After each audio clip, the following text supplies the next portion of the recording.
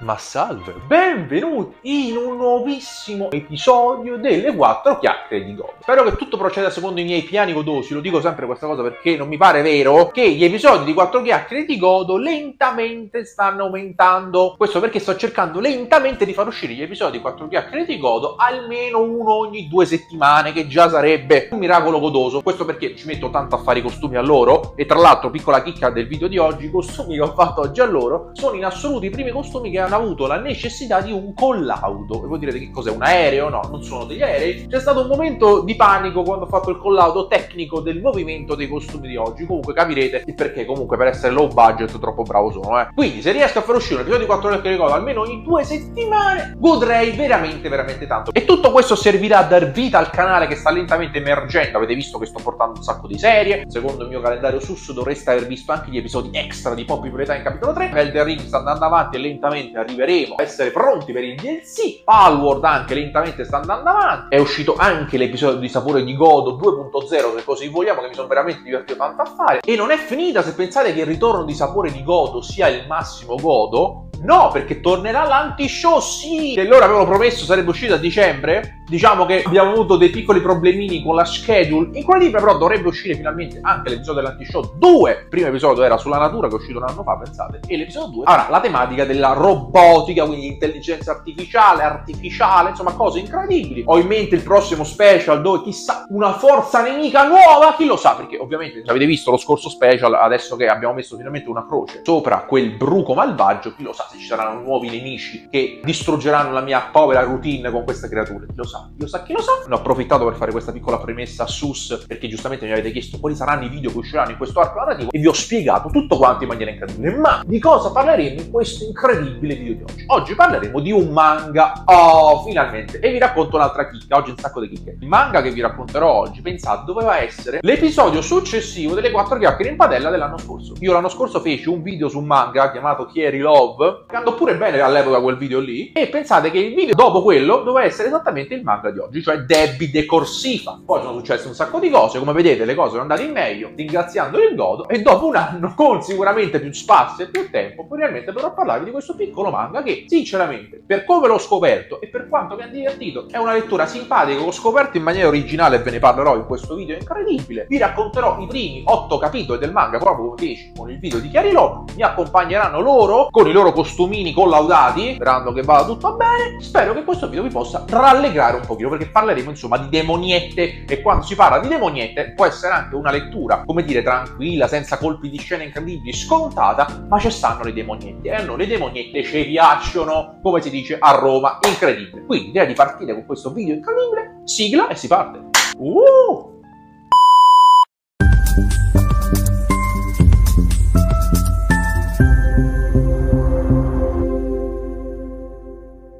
Eccoci qua, la nostra amatissima scrivania godosa è sempre piena di questi accessori che mi faranno compagnia per i prossimi tempi. Poi un giorno vi prometto che abbellirò questa postazione. Ovviamente di comprare alcuni poster, oppure qualche quadretto, qualche oggettino simpatico, però per adesso ci teniamo questi oggettini trovati in maniera sus. Prometto che un giorno ci saranno miglioramenti anche per quanto riguarda l'aspetto grafico di questa zona incredibile delle quattro chiacchiere di godo. Detto questo, direi di cominciare a parlare di questo manga incredibile. Il manga di cui parlerò oggi si chiama Debbie de Corsiva. È un manga scritto da Masahiro Hirakata, che è un mangaka che ha fatto veramente poche opere di pochi capitoli e generalmente mai concluse, eccetto Debbie, che sinceramente sta andando avanti e probabilmente sarà l'unica serie che lo renderà un pochino più noto del normale, nonostante numerose pause ogni tanto, ha una pubblicazione quasi normale. Questa serie nasce, pensate, come un one shot pubblicato sulla rivista Jump Giga di Shueisha, pensate, nell'aprile 2020, prima di essere serializzata sul sito Shonen Jump Plus a partire dal dicembre del 2020. La serie è stata compilata in 8 volumi a partire dal febbraio 2024. Questa serie è una commedia ecci con elementi sovrannaturali. E con sovrannaturali intendo che ci sono delle demoniette sexy molto molto carine. Il titolo si traduce in inglese con Debbie de Corsifais Emolus, con Emolus che sta per bramare, emulare e copiare. Questa cosa la capirete quando vi spiegherò la trama e soprattutto quando parleremo un po' della nostra adorata Debbie. Prima di passare alla trama, parlare dei vari personaggi e raccontarvi un po' qualche capitolo sus, vi voglio raccontare di come ho scoperto questo manga. Come vi ho detto un attimo attimo fa questo manga ha iniziato a essere serializzato nel dicembre 2020 e io ho scoperto questo manga, pensate, l'anno scorso e l'ho scoperto in maniera casuale perché mi stavo guardando su YouTube alcune clip, alcune compilation di clip di anime che sarebbero dovuti uscire a fine anno, no? E in mezzo a questa listina di clip c'era Debbie De Corsiva. Che design strano, mi ricorda vagamente Acqua di Konosuba e mamma mia se c'avevo ragione comunque. Clicco, questo video incredibile, mi guardo questo piccolo trailer incredibile e dico, vabbè, sembra proprio una cosa, la classica cosa Slice of Life comedy con demoniette carine. Il problema è che io pensavo fosse un anime. Quindi quando mi sono andato a informare quando usciva questo anime di Debbie, scopro che quel trailer non era di un anime su Debbie, ma era del manga. Quindi io ero convinto che uscisse l'anime di Debbie, invece era il manga di Debbie. E questa cosa mi ha fatto incuriosire perché ho pensato quante volte esce un trailer di un manga invece che di un anime. Sinceramente non è che ne ho visti tanti di trailer di manga, ma soprattutto trailer animati, quindi proprio come se fosse un anime, però di un manga. Questa cosa mi fece abbastanza incuriosire e fu proprio questa domanda incredibile che mi fece avvicinare a quest'opera incredibile. Ma però, prima di passare a tutto il resto, vi voglio far vedere proprio questa clip qui, che sarà proprio una infarinatura generale del mood di questo manga. Quindi prego al me del passato che vi fa vedere quanto è bella Debbie incredibile. Prego. Ecco il vostro Zoe di fiducia dal passato. No, non sto guardando un film Rule 34 sulle succubi, ma quello che stiamo per vedere è una cosa che ho citato nel video, che tra l'altro sto finendo di editare nel futuro, proprio su Debbie De Corsiva, perché come vi accennavo nel video, esiste il manga trailer proprio di Debbie De Corsiva. Quindi ho detto assolutamente devo registrare una piccola clip dove guardiamo insieme questa cosa e la metterò nel video delle quattro chiacchiere di Godo. Questa è l'evoluzione di Godoverse TV 1.5, riuscire a fare due cose in stile diverso e metterle in un video solo. Mamma mia, incredibile. Comunque, vediamolo un attimo, tanto dura 30 secondi, ragazzi. Alcuni di voi l'avranno anche visto, però è incredibile. Vediamolo subito, 3, 2, 1, vai. Scusate, mi fa troppo ridere, è bellissimo.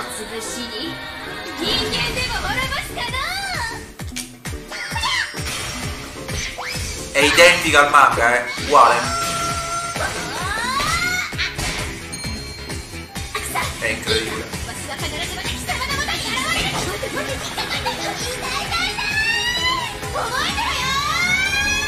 Tra l'altro ho beccato il frame perfetto, è un talento il mio. Potevo beccare qualsiasi frame, ho beccato il frame del culo, va bene. Se state pensando che Debbie assomigli molto Acqua di Konosuba è perché condividono la stessa mentalità, la stessa intelligenza. Diciamo che non peccano di intelligenza, però sono buone. Lo stile è identico al manga, mi metterò qualche immaginina in editing quando parlerò dei capitoli, però questo è il primo capitolo quando lei entra nella casa del nostro protagonista e decide di sfidarlo e perde malissimo. Questo è fantastico, questo è il capitolo 2 quando fanno la gara col sedere tipo Keiju. Però la scena più bella è questa per quanto mi riguarda guarda. Questa, guarda. Puoi sentire il dolore in questo momento, è bellissimo. Vedete il meme di Bart quando fa davanti al televisore, puoi bloccare quel frame e vedere esattamente il momento in cui gli si è spezzato il cuore. Eccolo, è quel momento, questo qui. Bellissimo. Per il resto l'adoro quando si arrabbia, poi è quando il portale la schiaccia. Quindi con la faccia del nostro protagonista, che non sa neanche lui come commentare Debbie, torniamo al futuro e vi continuo a raccontare i capitoli incredibili. Però volevo aggiungere questa cosa incredibile, quindi tempo presente!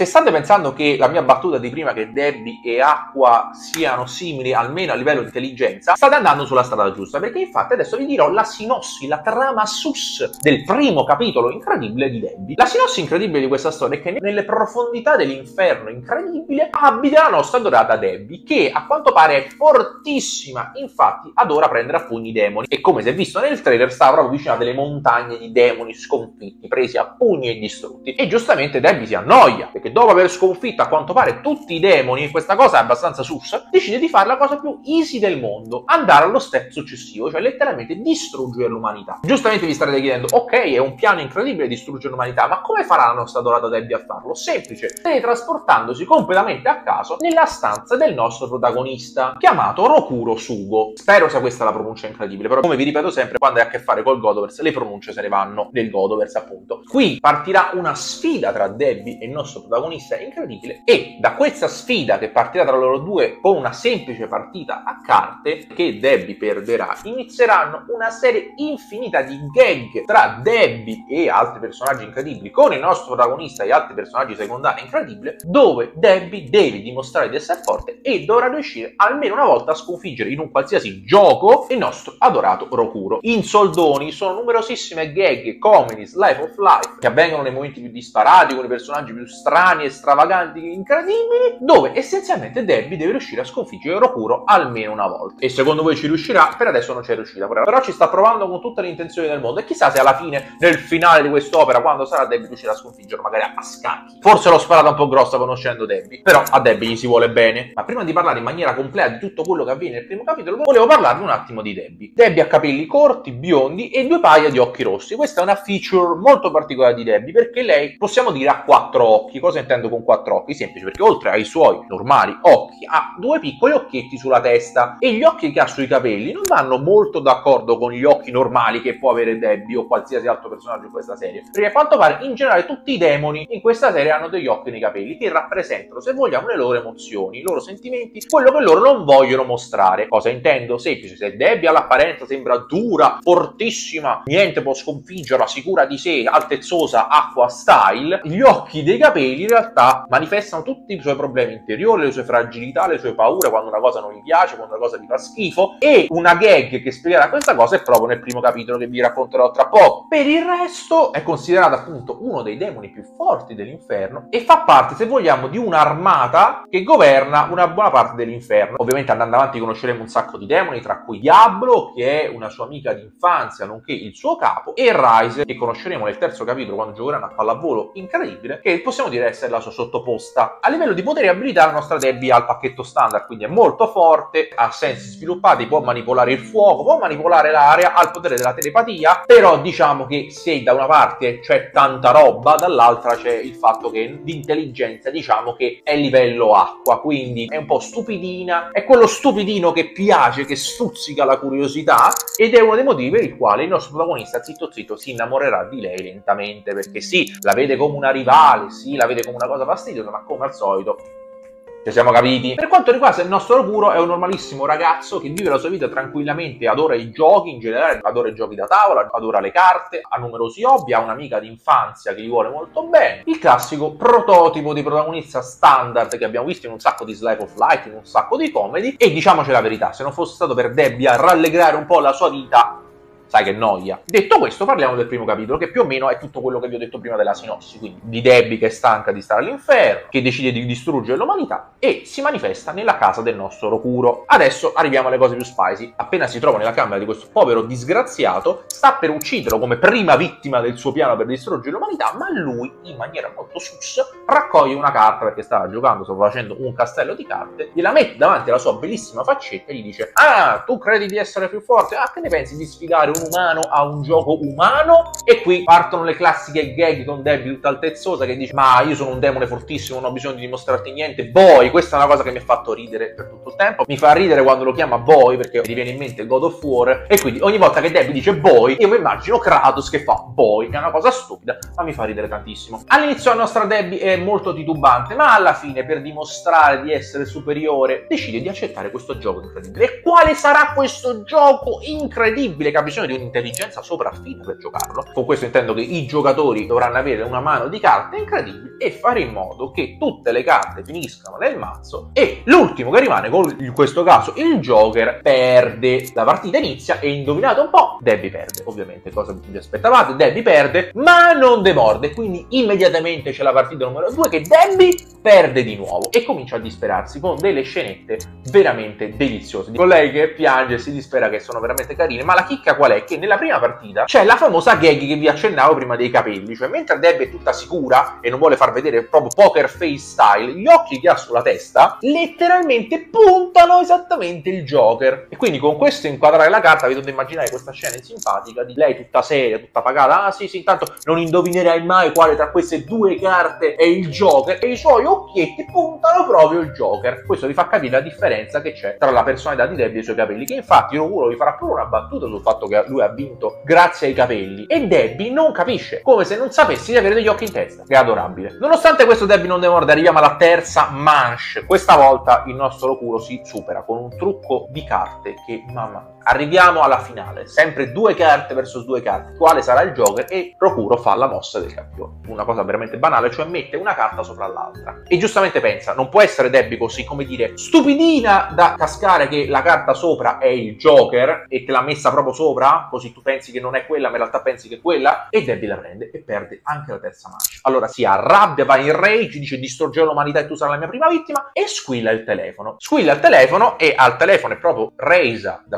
sottoposta di Debbie, che giustamente sta chiedendo dove sei finita? Dovresti star qui a fare i tuoi lavori da demonietta simpatica. Le dice, ah tranquilla, sono nel mondo umano, finisco questa cosa e poi arrivo e magicamente si apre un portale che risucchia la nostra Debbie e scopriamo una delle feature della serie, cioè il fatto che Debbie, essendo un demone, può rimanere nel mondo umano soltanto per un'ora al giorno. Ovviamente mentre è risucchiata promette a Rokuro che lo sconfiggerà e tutto finisce con Rokuro che fa una delle facce più confuse, divertenti e mistiche che io abbia mai visto. In sintesi, la nostra Debbie affronterà Rokuro per i prossimi capitoli futuri. In quell'ora di tempo che ha al giorno e così si conclude il primo capitolo che mette le basi per tutti i capitoli futuri, quindi numerosissime gag, giochi diversi e tentativi vari di Debbie di sconfiggere Rokuro e dimostrare di essere forte. E vedrete che il suo obiettivo di distruggere l'umanità lentamente andrà via nel cestino perché se lo dimenticherà palesemente e il suo obiettivo diventerà sconfiggere Rokuro almeno una volta in un qualsiasi gioco random. Detto questo, passo la palla a loro che vi racconteranno i prossimi capitoli. Noi ci vediamo nel capitolo finale. Passo la linea su Scheletro.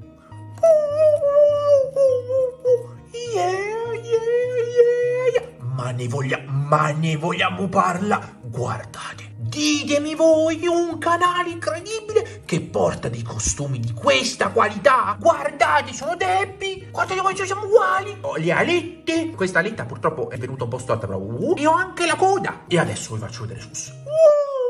E io sono Reisu, diciamo la seguace di Debbie come nella realtà. Io seguo sua maestà e anche quando facciamo i costumini, come dire, eh, do retta alla lore dei costumini sus. E infatti questa signorina la conosceremo proprio in questo capitolo incredibile, cioè il capitolo 2. Però guardate, ho i capelli e ho le alette. Guardate quanto siamo carini insieme. Guardate ragazzi, dei costumi così solo su questo canale incredibile. Quindi salutiamo il cameraman incredibile che ci ha fatto dei costumi incredibili. Anche se purtroppo, come al solito, ci sono stati dei problemi nel collaudo. Perché mentre a sus le alette gli vanno bene, la mia aletta, questa aletta incredibile funziona, l'altra aletta è un po' sus. Pure la coda è un po' sus. Con queste immagini incredibili, cominciamo a parlare dei capitoli incredibili. Capitolo 2. Uh! Allora, il capitolo inizia in maniera molto simpatica perché abbiamo il nostro Erokuro che mangia in maniera incredibile e facciamo la conoscenza della sua amica d'infanzia, Mokizuki Temari, il classico cliché di amica d'infanzia, diciamo non pecca di intelligenza neanche lei, infatti lei e Debbie andranno molto d'accordo, uh, però è simpatica e a noi ci va bene così. Poi che succede su? Uh, loro stavano tranquillamente a mangiare, ma a un certo punto arriva lei in stile Team Rocket, guardate. Comincia a dire, ah, è il momento di giocare umano, boy, come dice lei. E giustamente diciamo che la situazione va un po' fuori controllo, perché la nostra Temari, che appunto abbiamo detto non è che pecchi di intelligenza, non è che ha capito subito che Debbie è un demone, pensa sia una probabilmente una cosplayer pazza, nonostante le fa queste faccette sus. È Temari proprio che dice il gioco di oggi. Ragazzi, vi giuro che non stiamo scherzando, il gioco di oggi è prendersi a culate. Se non ci credete, guardate. A parte il fatto di questa inquadratura sul culotto di Temari, che come dire noi apprezziamo sempre, il gioco di oggi è praticamente Keishu. Voi lo ricordate Keishu? Ci hanno fatto pure un anime incredibile delle ragazze che con i loro glute incredibili devono buttarsi fuori da un ring incredibile e chi rimane vince. E si può usare solamente le ciapette. Per qualche oscuro motivo, guardate gli occhi del vostro scheletro incredibile, questa serie piace molto a Sus. E beh, insomma, mi pare ovvio. Il vostro Sus, mamma mia, tutte queste chiappotte belle, mamma mia, non mi pare vero di vedere una cosa del genere in un manga che non è quello lì. Quindi il vostro sus è contento. Però giustamente la situazione va fuori controllo perché dopo avergli spiegato giustamente le regole di questo gioco incredibile, Debbie comincia a comportarsi in maniera, come vedete, un pochino sus, stravagante, come dire, non vuole partecipare a questo gioco incredibile. Alla fine decide di partecipare, però scopriamo che il motivo per il quale, come dire, Debbie non vuole partecipare è un motivo molto simpatico, cioè Debbie pensa che se il suo bel culetto dovesse toccare il culetto di un umano, lei, come dire, non è più pura. Eh, sus che ne pensi? Ok, Debbie, tutto d'accordo, diciamo che nel mondo umano le questioni sono un po' diverse, però a quanto pare Debbie è una ragazza pura, nonostante il suo lato demoniaco incredibile, quindi all'inizio non vuole partecipare, però alla fine come vedete, eh, partecipa a questo gioco incredibile. Indovinate un po', ovviamente perde perché povera Debbie, ma è una gioia. La prima volta perde perché appena viene sfiorata dalle chiappette di Rokuro, lei si sente come dire, mamma mia, si sente toccata, praticamente esce da sola dal ring. Mentre la seconda volta, Rokuro usa la forza di accelerazione gluteosa di Debbie per schivare il colpo e lei magicamente esce dal ring da sola. E ovviamente primo piano del culetto di Debbie perché eh, a noi ci piace. Nel finale del capitolo incontriamo Reisu, che ovviamente è la ragazza del quale sto facendo questo cosplay incredibile, che diciamo è la sottoposta di Debbie e giustamente preoccupata perché non vede più Debbie e va nel mondo umano tramite un portale per vedere che, che cosa sta facendo Debbie. E il finale è emblematico. Questa è la sua espressione quando si accorge che Debbie sta facendo un gioco veramente insignificante con degli umani. E quindi lei fa la cosa più ovvia del mondo, apre un portale e si porta via Debbie. Prossimo capitolo. Oh, queste sono le cose che piacciono al vostro scheletro incredibile. Terzo capitolo incredibile. Questo capitolo si chiama volleyball e indovinate un po', si gioca a pallavolo. Su, sei contento? Mamma mia, come sta vorrei essere quella palla? La sinossi di questo capitolo è molto semplice, cioè che Debbie arriva mentre Temare e Rokuro stanno giocando a pallavolo, lei dice "Ah, voglio giocare". E giustamente loro dicono "Ah, questo è un gioco che si fa in coppia e tu sei da sola". E allora Debbie in maniera molto sus evoca proprio Reisu. Ce la presentano, ci spiegano chi è, il ruolo che ha e magicamente si mettono a giocare a pallavolo loro quattro. E la chicca del capitolo è che mentre Debbie riesce a sbagliare ogni mossa possibile possibile durante questa partita incredibile Reisu è bravissima. Ovviamente questo crea delle gag simpatiche con Debbie che è molto arrabbiata del fatto che Reisu è più brava di lei. Questa è la scena che avrete visto sicuramente pure con il nostro cameraman incredibile quando avete visto il trailer del manga. Quando Debbie al suo momento la sua scarpetta fa crack, lei fa questa faccia sus e gli arriva una di quelle palle in faccia che si ricorderà per tutta la vita. Il finale è simpatico perché Debbie e Reisu vincono la partita, ma Debbie non è soddisfatta. Non è soddisfatta perché non è stata lei a fare il punto decisivo e quindi se ne va sconsolata. Incredibile, prossimo capitolo! Capitolo 4 e ditemi voi se non vorreste leggere una cosa che inizia così. Cosa rappresenterà mai questa immagine incredibile? Non pensate male, il capitolo in questione parla di indovinelli ed è un capitolo abbastanza sus, perché come al solito arriva Debbie in maniera sus, dice adesso ti sconfiggerò umano, però non ha capito che la lezione di oggi è cercare di decifrare dei giochi di parole slash indovinelli sus che i nostri protagonisti sanno fare e lei no, ovviamente non li sa manco capire, porella. Purtroppo a Debbie non basta la mossa degli occhiali incredibili da intelligentona per risolvere alcuni enigmi veramente veramente complessi che, sinceramente, il vostro scheletro e Sus incredibile non hanno capito.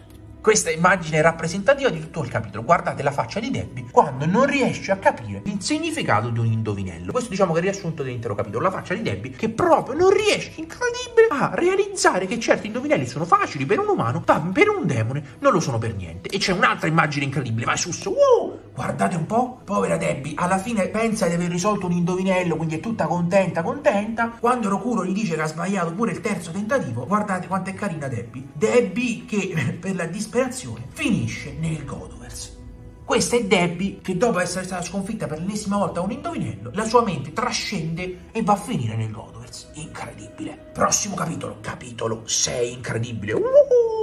Mamma mia quanto è carina Debbie, mamma mia Debbie, vieni a servire pure a me il caffè, quello che ti pare. Questo capitolo è molto tranquillo, infatti è forse l'unico capitolo per un po' dove Debbie non fa le classiche figure da stupidina, ma in realtà passa del tempo in maniera simpatica, perché Debbie arriva e dice, ah dov'è Rokuro, adesso lo prendo a botte, incredibile, e incontra Temari, che gli dice che oggi Rokuro è impegnato, e gli chiede, vuoi venire a passare un po' di tempo con me, ci andiamo a bere una tazzina di tè, e passiamo del tempo come delle amiche incredibili. Cosa che Debbie all'inizio non è che capisce, perché non è che Debbie ha tante amiche, oppure nell'inferno può passare tempo facendo attività umane, e quindi alla fine accetta che guardate che succede. Passano del tempo insieme, mangiano delle torte incredibili, bevono delle cose incredibili e Debbie per la prima volta si sente umana, che è una caratteristica un pochino Debbie svilupperà andando avanti nei capitoli incredibili, perché mano a mano che stai con gli umani ti umanizzi anche tu, vero sus? Giustamente sua maestà dice delle cose molto sensate, guardate un po', come vedete Temari è molto kawaii e tratta Debbie un po' come una sorellina, e quindi il capitolo finisce con Temari e Debbie che si salutano e Rokuro e oggi non gioca con Debbie, ci ha giocato Temari. Eh, capito Rokuro? Eh, tratta bene Debbie. Ora Rokuro come ci rimane male che sotto sotto gli ci rode che Debbie non è stata con lui.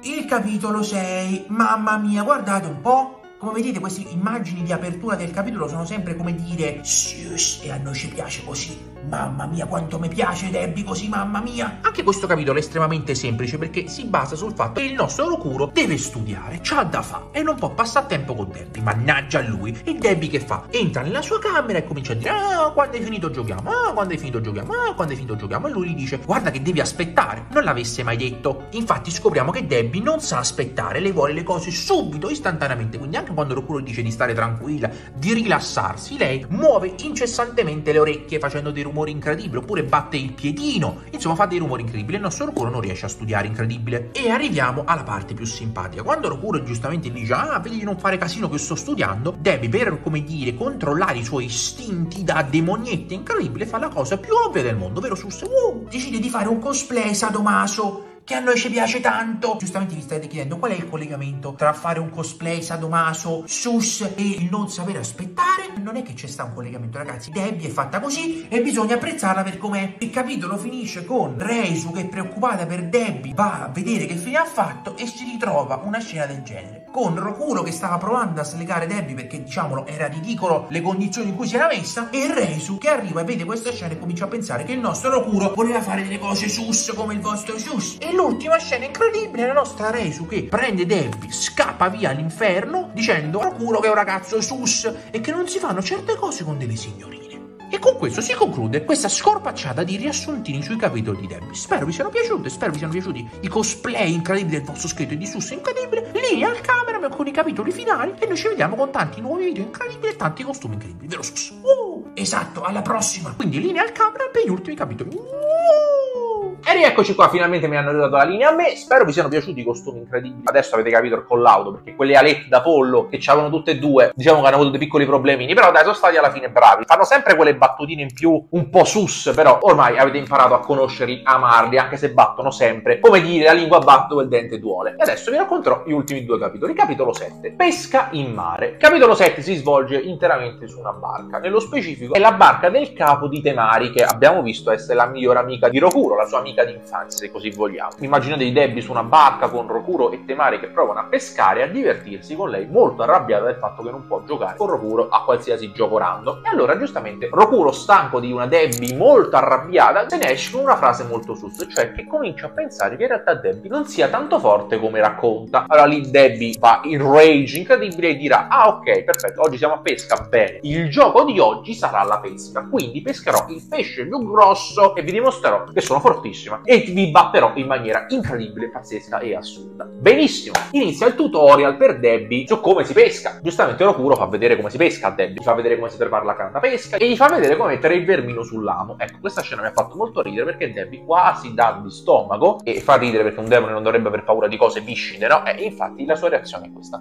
Dopo aver fatto pace coi sensi e aver digerito la questione dei vermini, finalmente Debbie si mette a pesca e mamma mia, non pesca niente. Mentre Temari e Rokuro pescano un sacco di pesci, lei Vorela non pesca niente, soprattutto per il fatto che all'inizio, essendo terrorizzata dal vermino, lei pesca senza un'esca. Alla fine prende coraggio e riesce a pescare un pesce. E come finirà secondo voi Debbie che pesca un pesce, anche di dimensioni devo dire abbastanza grandi, viene presa a pesciate in faccia e il pesce torna nell'acqua. Ovviamente Debbie ci rimane male, va in depressione mode, ma non si arrende. È questo che ci piace di Debbie, il fatto che non si arrenda. Quindi mentre Temare e Rokuro sono distratti, la canna da pesca di Debbie dopo un po' pesca un altro pesce. Il problema è che il pesce in questione non è un pesciolino come quello di prima, ma è un fottutissimo squalo. E giustamente lo squalo, con una banalità sconcertante, tira la canna pesca e Debbie finisce nell'acqua. E qui c'è una scena incredibile, perché mentre Temari e Rokuro sono agitatissimi, oh mio dio, se la mangerà lo squalo, mamma mia, mamma mia, vediamo cosa succede nelle profondità marine. Lo squalo, che tra l'altro devo dire una cosa, lo squalo è disegnato anche abbastanza bene. Ho visto squali disegnati molto peggio. Il nostro squalo in maniera molto sus sta per aggredire Debbie e Debbie gli fa capire chi comanda. Con questa scena incredibile dove gli fa sentire la sua presenza, se così vogliamo, lo squalo, dopo aver visto la presenza di Debbie, il nostro pesciolino da squalo cane è diventato un semplice cane, perché infatti è diventato un adorabile cucciolo che si fa cavalcare da Debbie. E il capitolo finisce con Debbie tutta contenta che ha, diciamo, sconfitto la sua paura nei confronti dei pesci e Rokuro e Temari che sono contenti che lei appunto non sia stata mangiata. E Rokuro che si fa la domanda che forse forse Debbie è molto forte. Andiamo all'ultimo capitolo. L'ultimo capitolo che vi voglio raccontare oggi è il capitolo 8 chiamato Otello. L'Otello è un gioco che avrete visto sicuramente in molti altri anime. È questo gioco dove tu puoi essere un giocatore bianco, puoi essere un giocatore nero e lo scopo è appunto conquistare praticamente tutta quanto il ring. Che succede in questo capitolo incredibile? Questo capitolo ha una feature che mi piace molto, cioè la waifu. Andiamo nello specifico. Il capitolo inizia con il nostro Rokuro molto triste per il fatto che all'ora stabilita Debbie non si è ancora manifestata e quindi intanto pulisce la cameretta, prepara possibili giochi. A un certo punto appare il portale. Il nostro Kuro sente un rumore alle sue spalle e dice: Oh, è che Debbie e si ritrova. Mamma mia, Mamma mia, perché solo nei manga? Questa signorina si chiama Diablo e con sé porta ovviamente Debbie e scopriamo che Diablo è sia un'amica di infanzia di Debbie, sia il suo capo. Quindi se Reisa è la sua sottoposta, Diablo è il suo capo, come vi ho raccontato prima. E soprattutto la relazione che c'è tra loro due è molto sus, perché Diablo non sopporta il fatto che Debbie, quindi un demone, perda delle partite con dei giochi veramente stupidi contro un umano, perché i demoni sono forti, gli umani devono essere sottomessi, non è possibile che tu perda perda ogni partita con questo ragazzino. E allora Diablo, mente geniale, decide di dimostrare a Debbie che gli umani sono fragili, gli umani sono deboli e che lei può distruggere questo ragazzino. Quindi giocano a Otello. Perde una partita, ne fanno un'altra e perde anche la seconda. E qui c'è una gag molto simpatica, il fatto che Debbie goda tantissimo e una presuntuosa come Diablo perde contro proprio pure. Di fatto la prende in giro veramente tanto e Diablo si arrabbia un pochettino. Allora Debbie giustamente dice, bene, hai perso tu due volte, ti dimostrerò io che in realtà posso sconfiggere a questo gioco incredibile Rokuro. Fanno una partita e Debbie perde anche quella. Quindi di fatto è riuscito a sconfiggere due volte Diablo e una volta Debbie nello stesso giorno. Quindi morale della favola, i demoni sono tanta roba, ma non peccano di intelligenza. Il finale è simpatico perché Debbie dopo aver perso guarda Diablo e dice, vedi, siamo su uno stesso piano perché hai perso tu e ho perso io. Diablo prende la sua spada, gli dà, penso, uno dei colpi più forti dell'universo probabilmente, se la porta via come un cadavere sulle spalle e promette a Rokuro che non è finita. E con questo si conclude l'ottavo capitolo di Debbie. Ovviamente il manga continua, siamo arrivati oltre il trentesimo capitolo. Ci sono delle pause ogni tanto, però poi quando meno te lo aspetti ti trovi il capitolo di Debbie carico. Non stiamo parlando di una lettura, mamma mia, che ti apre la settima dimensione. Però nel complesso, se vi volete fare due risate, volete vedere un po' di demoniette carine e fidatevi che andando avanti ce ne sono di tutti i gusti, colori, dimensioni, non avete idea, vi siete affezionati a Debbie, dategli assolutamente una prova, leggetela, magari vi divertirete, scoprirete di essere fan di demoniette che non riescono a sconfiggere un umano con dei giochi veramente stupidi, alcuni sono un pochetto più, però la maggior parte sono veramente cose banali, e magari passerete del tempo godendo in maniera interessante. Spero che questo video vi sia piaciuto, spero vi siano piaciute le gag di Sus Schelo, soprattutto i loro costumini. Io vi ringrazio, che gozo con voi e ci vediamo alla prossima puntata. Sigla! Uh!